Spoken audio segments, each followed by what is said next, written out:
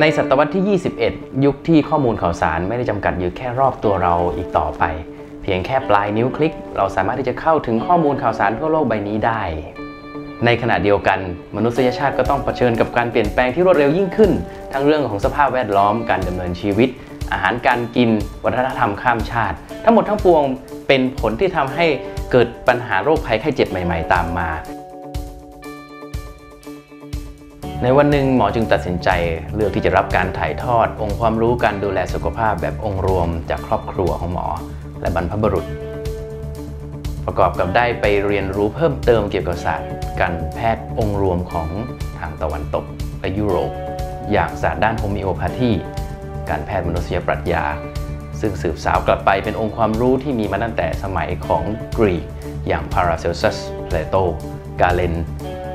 หรือแม้แต่นักปรัชญาอย่างเกอเต้ทั้งหมดเป็นองค์ความรู้การแพทย์องค์รวม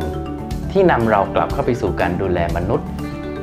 แบบเป็นองค์รวมจริงๆ จากพื้นฐานความรู้ด้านฝังเข็ม